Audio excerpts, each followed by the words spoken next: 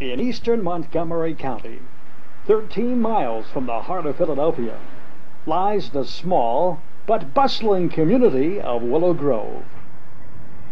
In the middle of town stands one of the largest and most modern shopping malls in Pennsylvania. Signs at the entrances all proclaim Willow Grove Park.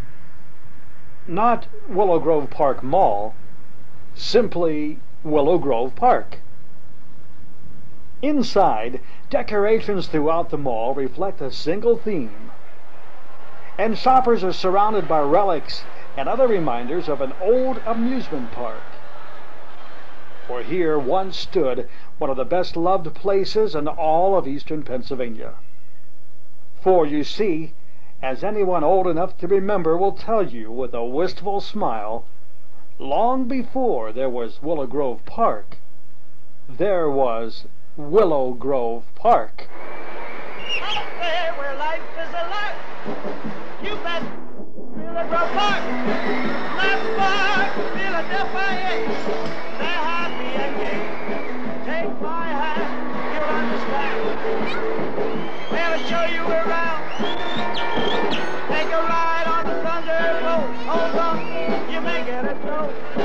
Then you hop aboard the Frontier Express. Then you rock it to the moon.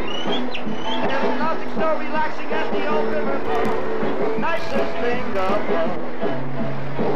Hey, hey, see the Mississippi, but hey, but you will agree that life is a lark at Willow Grove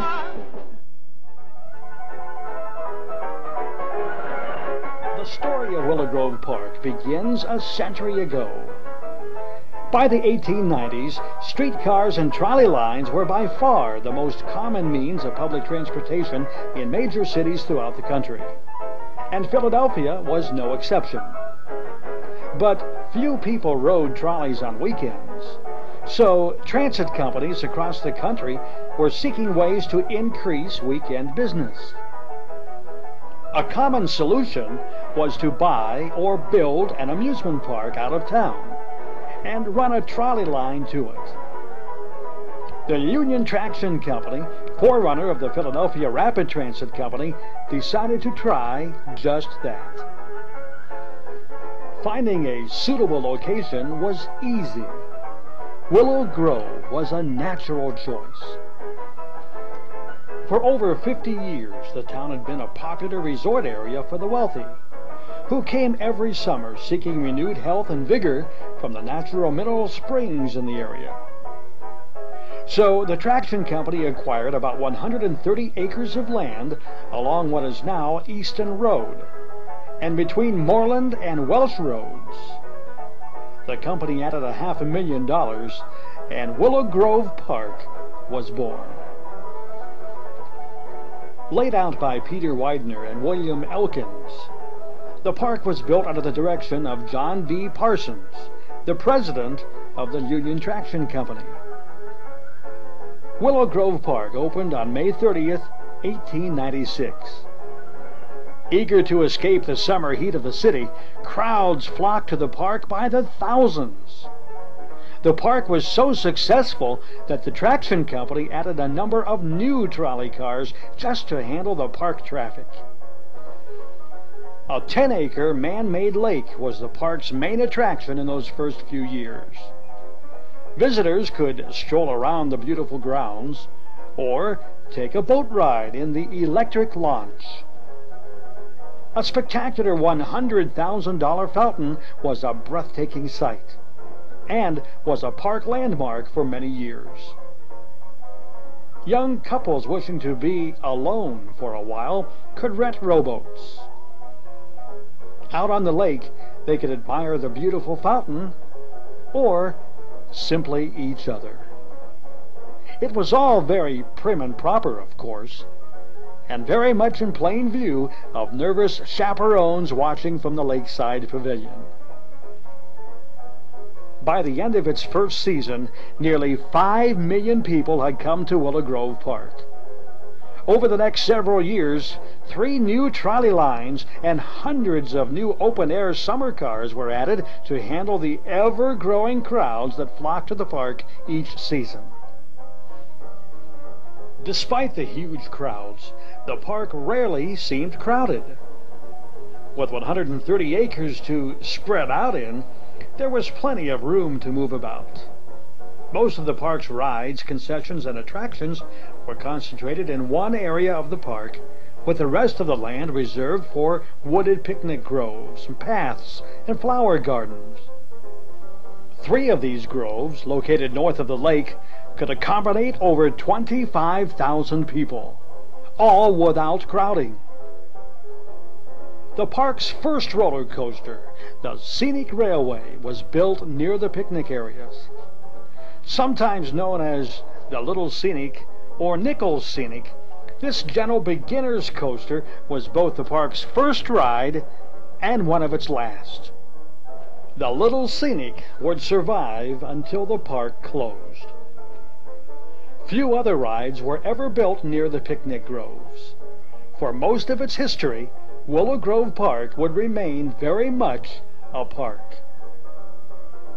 Other popular attractions in the early years included a water ride called Shoot the Chutes. Considered almost shockingly dangerous in its day, Willow Grove's ride worked very much like the similar ride at New York's Coney Island. Passengers went flying down a steep ramp to plunge dangerously into a frightening pool of water that was every bit of four foot deep.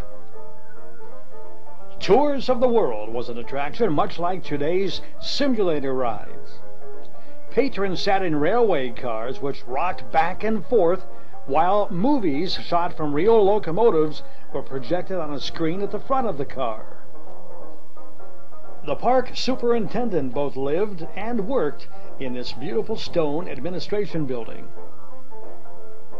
The park's builders had a deep love for music, and in the years to come, Willow Grove Park would gain a well-earned national reputation for its outstanding concerts. The concerts were free and featured many of the finest bands and orchestras of the day. Concerts were performed in the Music Pavilion, which could hold 10,000 people. The band shell in the pavilion was considered acoustically perfect. Crowds flocked to the park to hear concerts by popular bands such as the Ithaca Band, directed by Patrick Conway, and the New York Symphony Orchestra, under the direction of Walter Damrosch. As park attendance grew each year, new attractions and rides were added regularly. Some of the rides would last only a few seasons, while others would remain for generations. Before 1910, the most famous and visible landmark of Willow Grove Park towered above the treetops. For nearly 70 years, the enormous artificial mountain of wood, painted burlap, and later concrete would dominate the skyline of Willow Grove.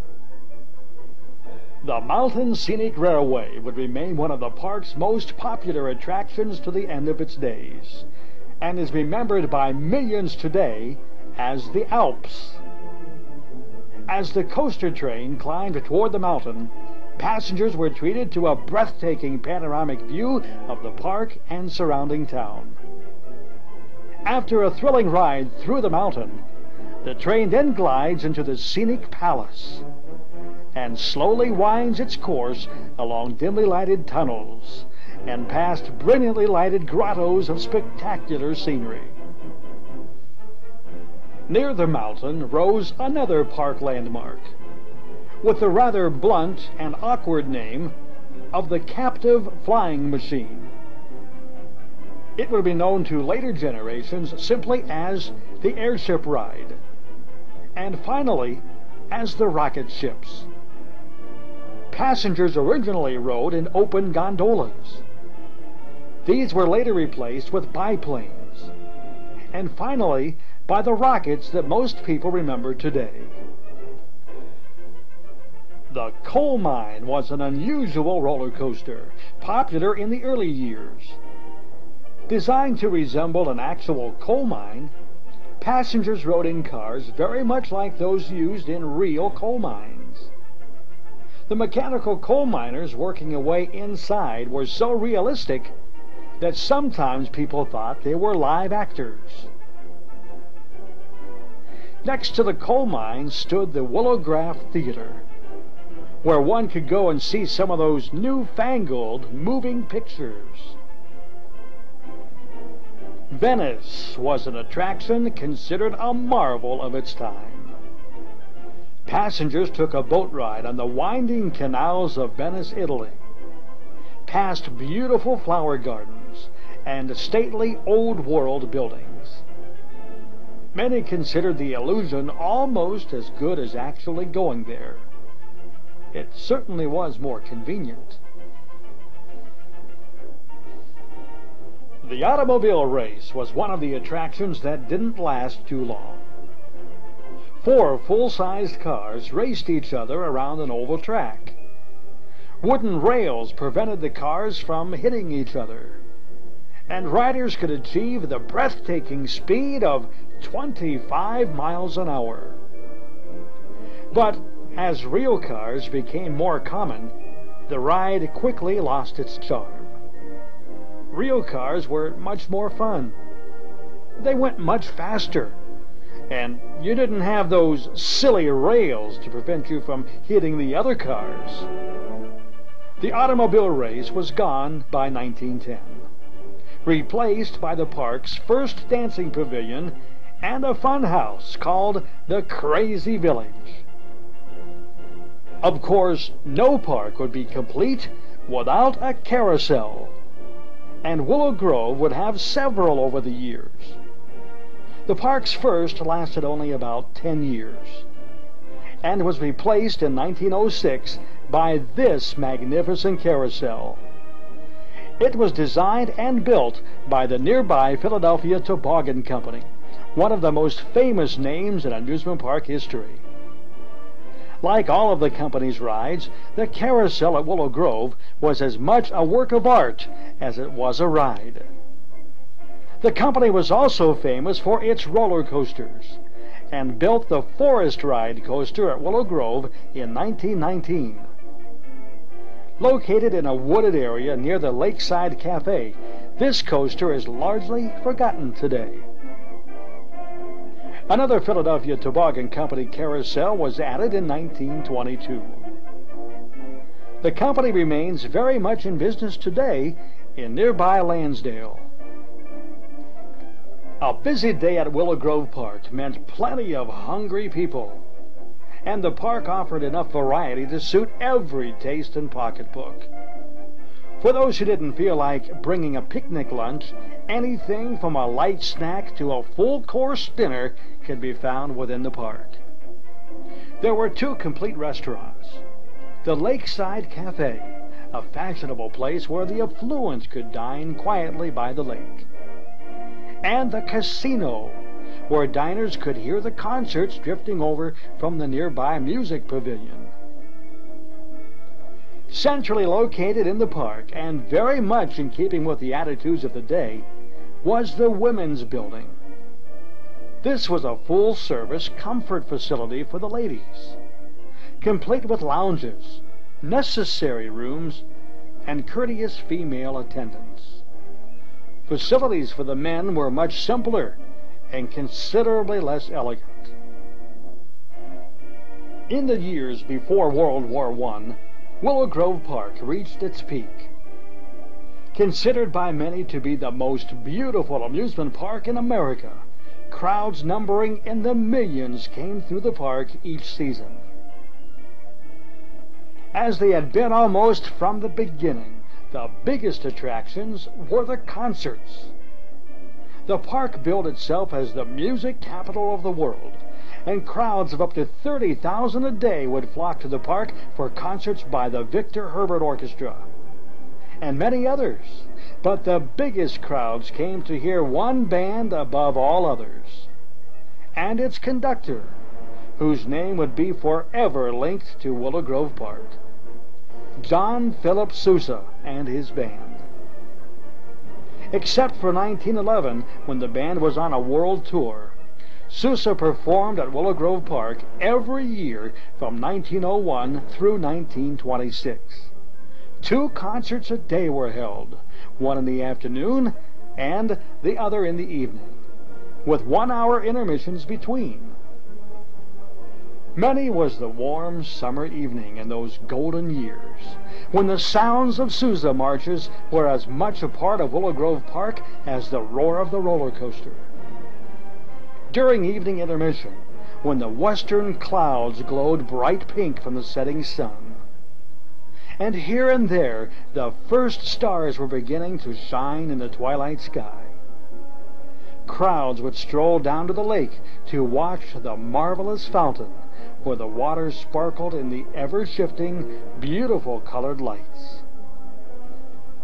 The night seemed magic somehow more like something out of an Arabian Nights fantasy than simply an amusement park. And almost always, if the Sousa Band was performing, before the concert was over, the sounds of his most famous composition would come drifting from the music pavilion. The Stars and Stripes Forever. And finally, every Saturday night, the day would end with a spectacular fireworks display.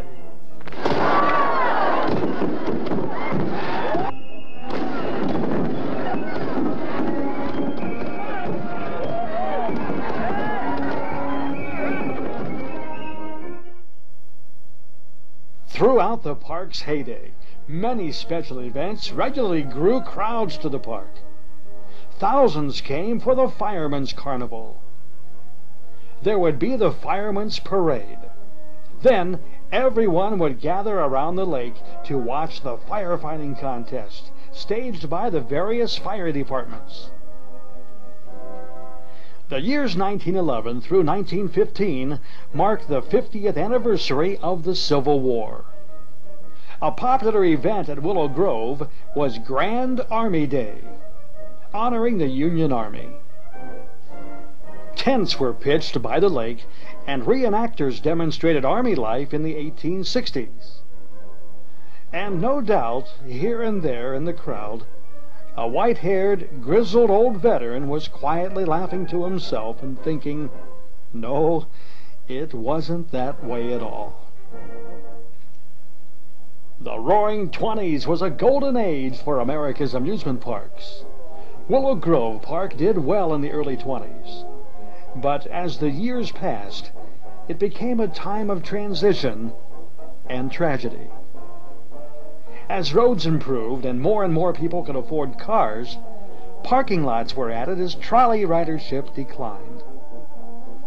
Trolley lines were fast becoming obsolete, and park attendance began to decline as people found other places to go in their new cars.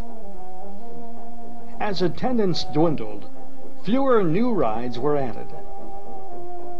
And even the once famous concerts could no longer draw the crowds that they once did. A new generation was coming of age, and their taste in music was changing.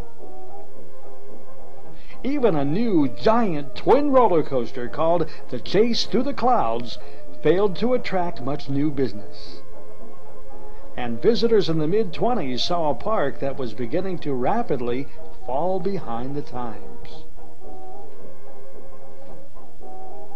There was still plenty to do at the park. Laugh at yourself in the mirror maze. Try your luck at the shooting gallery.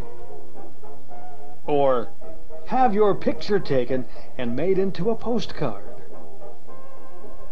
But for growing numbers of people, it was all something they had seen and done before. The Sousa Band gave its last performance at Willow Grove Park in 1926. The park would survive and even have a renaissance of sorts in the 1950s and early 60s, but the golden age was gone forever. In the mid-20s, the Philadelphia Rapid Transit Company decided it was time to get out of the amusement park business. In 1926, the transit company leased the park to Meyer Davis, whose successful orchestra interest had spawned an amusement park company. The transition was complicated by several tragedies which occurred in the late 20s. On the park's newest roller coaster, the Chase Through the Clouds, several people were killed and a number of others injured when one of the trains jumped the tracks. The coaster was never used again. Another tragedy was a fire that destroyed the old coal mine ride. Again, several people were killed. The fire left a vivid impression on a young college student working that summer at the park. And years later, James Michener would retell the story of the tragedy in his first novel, The Fires of Spring. A couple of years after the coal mine tragedy, another fire destroyed the once popular Venice attraction. Despite these setbacks, the new management plunged ahead with a series of sweeping changes and renovations. The plans were to bring the crowds back to the park and to make the park more appealing to a younger crowd. Some rides, like the airship ride, were modernized as the gondolas were replaced with biplanes. The park's last great roller coaster, the Thunderbolt, was built on the site of the old coal mine ride. A new musical policy put an end to the free concerts of the past. They were replaced by a variety of different musical programs called music festivals, for which a separate admission was charged. Now and then, a few of the more traditional concerts were still performed, such as the Paul Whiteman Orchestra. The old casino restaurant was converted into a new dance land, and the older dance land became a roller skating rink. The Chase to the Clouds coaster was demolished, and an open-air amphitheater was built on the site although the coaster entrance was kept as the amphitheater entrance. Here, free thrill acts such as vaudeville and circus type acts were performed. Some smaller rides and attractions were added, like the Heyday and a funhouse of sorts called Bluebeard's Palace, where visitors could trace the life of the notorious Bluebeard. Old rides which were still popular remained. The Mountain Scenic Railway, of course, and the little miniature train pulled by a tiny but real steam locomotive. Like almost everything else in America, Willow Grove Park suffered in the Great Depression. But in some ways, the park was not affected as badly as many other businesses at the time. Already suffering from declining business, the Depression in many ways simply meant that belts had to be tightened just a little bit more than usual. In the early 30s, local radio stations began broadcasting special events from the old music pavilion. As much as possible, the park continued to remodel and renovate in the 30s. While there were no more major new rides, some smaller attractions and rides were added. Rides like the scooter boats, which used the waterways left over from the Venice attraction. The Tumblebug and the Caterpillar and the Midget Autos all came in the 30s. Boating on the lake remained as popular as ever, and the 30s saw a beautiful new addition to the park's fleet. Many people today can still remember the time when the elegant, graceful swan boat plied the waters of Willow Grove Park. The Depression was swept away by the outbreak of World War II. During the war years, amusement parks like Willow Grove played an important role by helping people escape, for a time, the pressing demands of a wartime economy. Because of the trolley line, gas rationing had little effect on the park. Although park attendance was good in the war years, wartime restrictions prevented the park from making any major changes. The 1940s was the heyday of the big band era, and Willow Grove Park's casino ballroom filled with the music of many of the finest big bands of the day. While the idea of separate kiddielands and parks would not catch on until the post-war years, there were always lots of rides for the children. The pony track was located between the carousel and the Mountain Scenic Railway. The economic boom that came in the post-war years marked the beginning of a brief renaissance era for Willow Grove Park. In the late 1940s and early 1950s, the park took on the form that most people remember today. The Mountain Scenic Railway was remodeled somewhat and became the Alps. And the biplanes on the airship ride were replaced with sleek stainless steel rockets. Yes, this was the Willow Grove Park as most of us remember it today. Would you like to go back for a while? Well, come on then, and we'll go back. Back to a time when we were all young and carefree, and all of our lives were yet before us. Back to a time when Willow Grove Park was still Philadelphia's favorite playground. That ever smiling clown with his drum meant that there was a world of fun and excitement waiting just inside the gates. Most people came by car now, but there was plenty of business to keep the buses and trolleys coming to Willow Grove.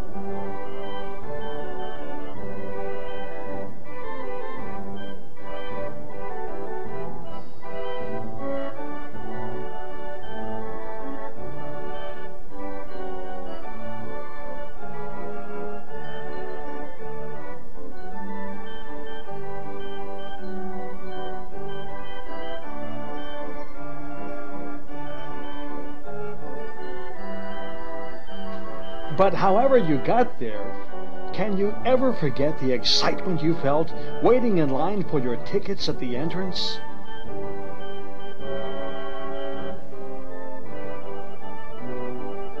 Inside at last, and what a world of wonder and fun spread out before you. Can you remember how the sights and the sounds and the smells came at you from every direction? There was something interesting going on everywhere.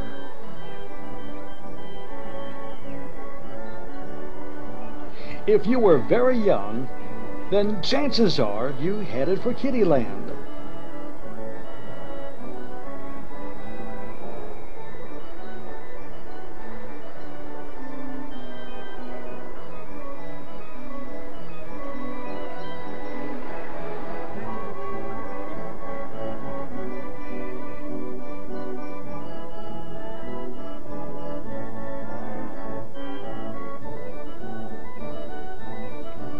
For the kiddies of all ages, there was, of course, the carousel. A tradition from the earliest days of amusement parks, carousels have always been popular.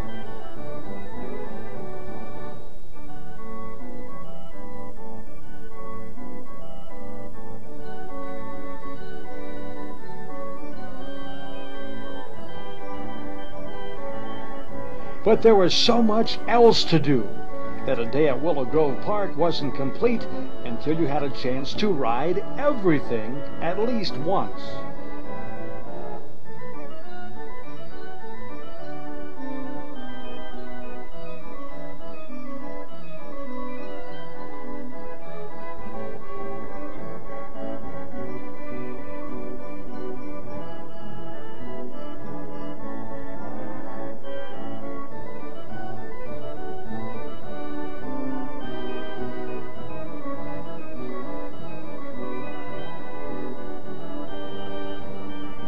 Remember the water scooter?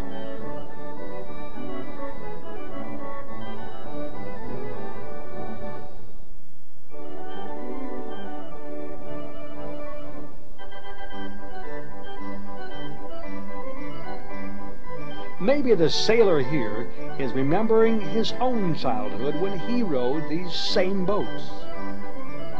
Or perhaps his parents told him of what used to be on this very spot the old Venice.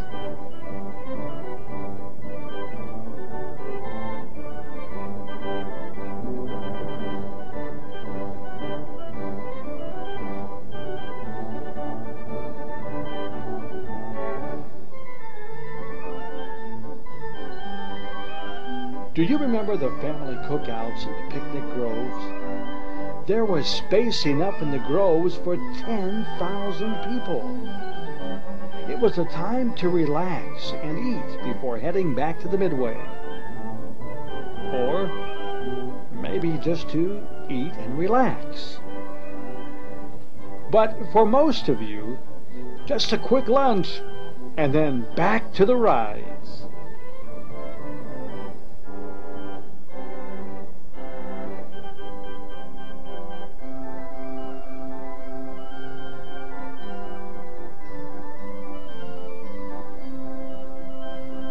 How many got your first kiss in the tunnel of love? And likely as not, your parents had done the same thing back when it was the old mill.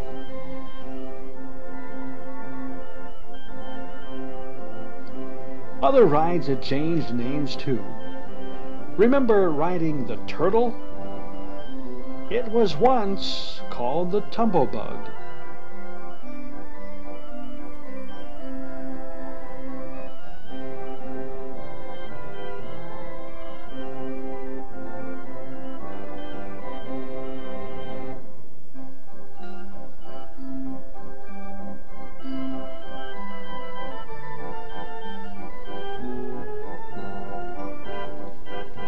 If your head was spinning from all the rides, and you were wondering if you might be seeing your lunch again real soon, you could slow down the pace a little bit.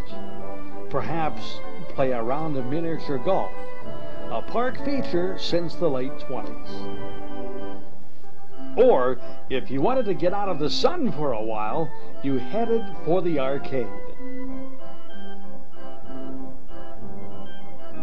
Remember playing skee ball? Trying to rack up points while not getting too distracted by the roar of the thunderbolt, which stood right next door.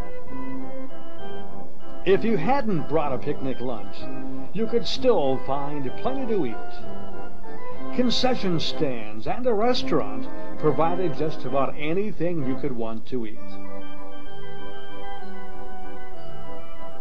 And what would a day at the park be without popcorn, hot dogs, and of course, cotton candy?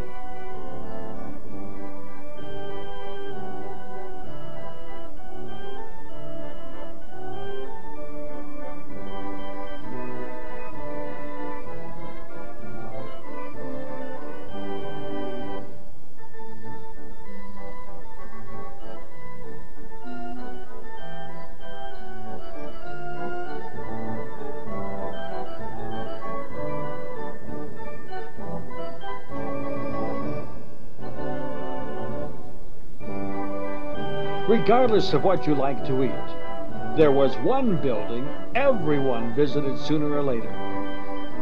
And here was a real sign of how times had changed. The old woman's building now had facilities for men. Who could forget the funhouse? It was the old Bluebeard's Palace remodeled.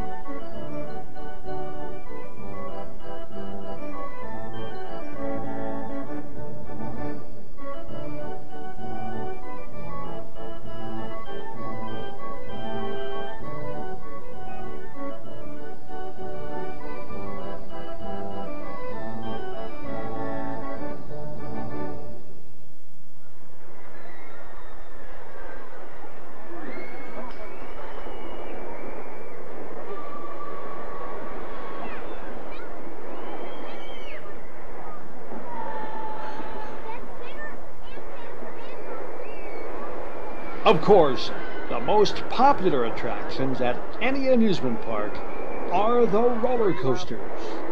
And the Thunderbolt and the Alps remained favorites until the park's last day.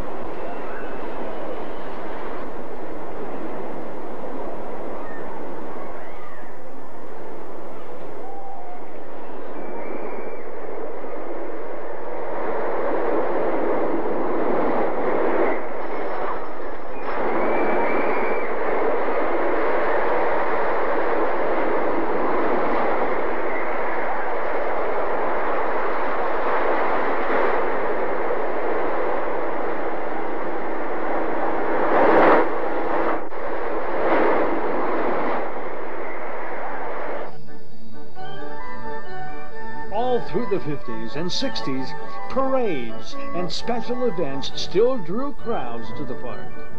Special acts like acrobats and animal acts appeared regularly.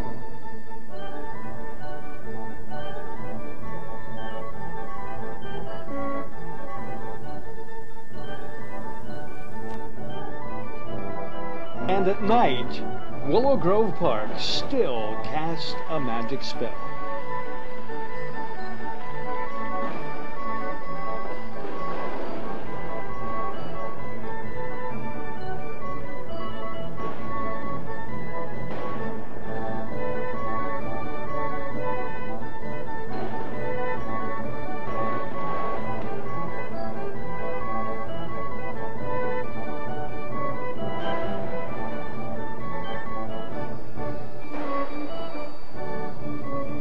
Last, the magic day ended with fireworks set off near the lake.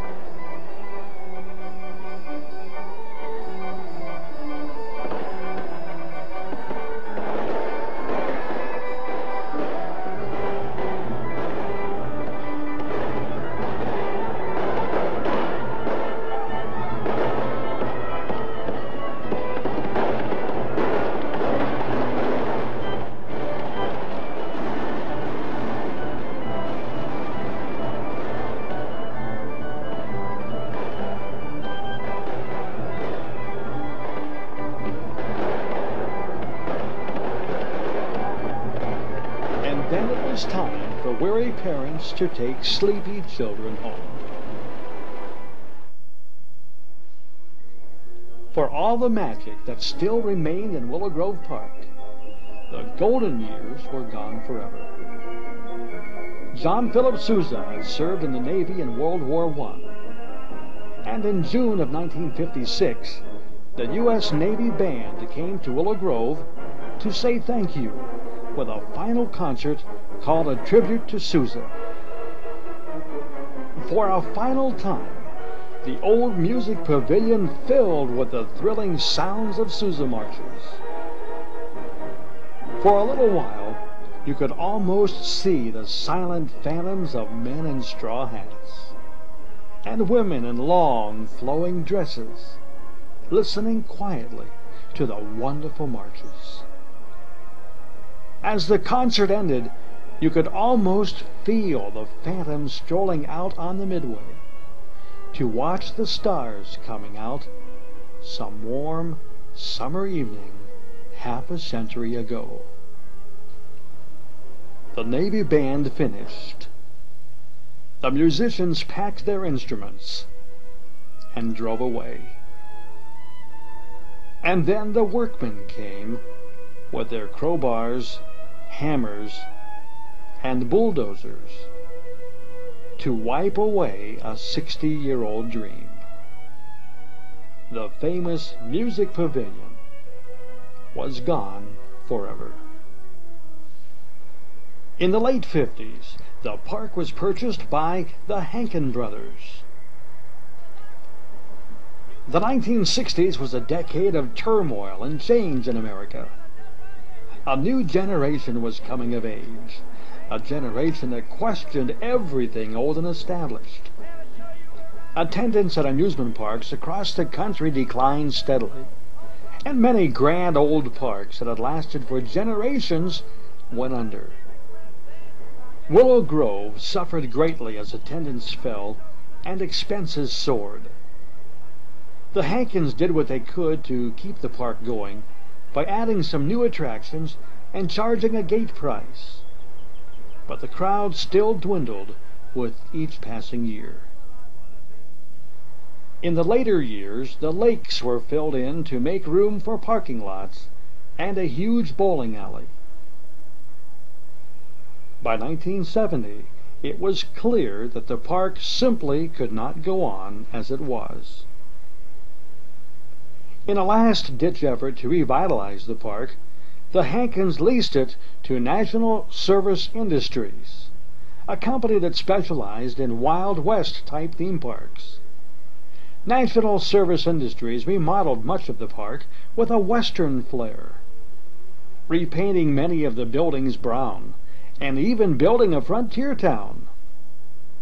In 1970, Six Gun Territory opened to the public. Attendance the first year was good, but the novelty of the Wild West theme wore off, and the crowds quickly dwindled after that. The growth of the giant theme parks sealed the fate of Willow Grove. Crowds that once flocked to Willow Grove Park we're now going to places like Hershey Park, King's Dominion, and Great Adventure. So, at long last, Willow Grove Park came to an end. At the end of the 1975 season, the gates swung shut and a sign was hung up that bluntly stated the truth closed. Over the next several years, the park rides were dismantled and sold. Paint peeled from rotting buildings, and weeds grew in the empty midway. Once the thunderbolt had roared with the happy screams of riders and the rumble of wood and metal, now the only sound to be heard was the wind drifting through the stark, rotting timbers. In the fall of 1980, all that remained of Willow Grove Park vanished from the earth.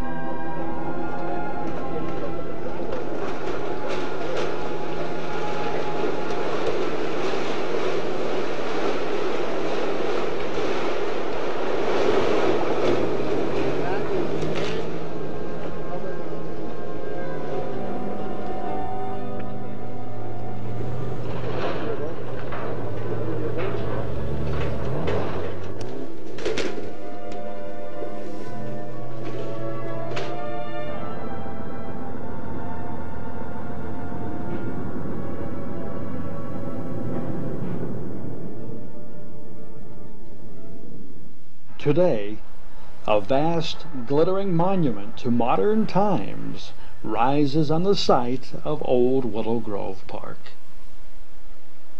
The mall is one of the largest and finest of its kind in the country. Very much to their credit, the owners of Willow Grove Park Mall have shown a profound and reverent respect for that which came before. In the center of the mall hangs a unique clock in honor of John Philip Sousa.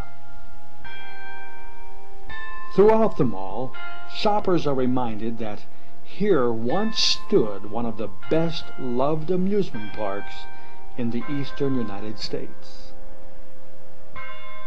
And sometimes on a busy day, amidst the bustling crowd of shoppers, you may yet catch an old-timer pausing to stare quietly at the old photos on the wall. When he turns away, you can see a faint smile on his face and a tear in his eye. Willow Grove Park is gone now, gone forever. But we honor its memory, and the park lives on in those memories of youth and innocence. And the park will live on for as long as parents tell children about places they loved. Up there where life is a lark, you bet it's Grove Park. Not far from Philadelphia, they're happy and gay. Take my hand, you'll understand. We'll show you around. Take a ride on the Thunderbolt. Hold on, you may get a jolt.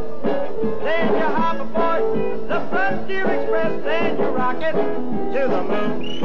There's nothing so relaxing as the old riverboat, nicest thing above.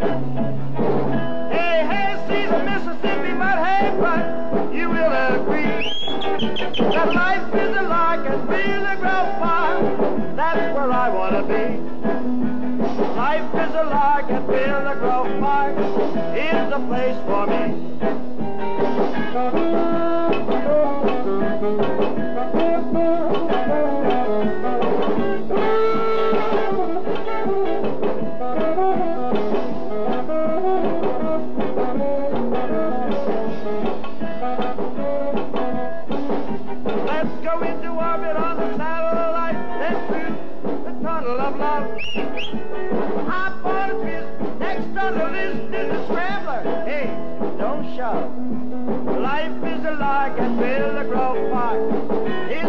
It's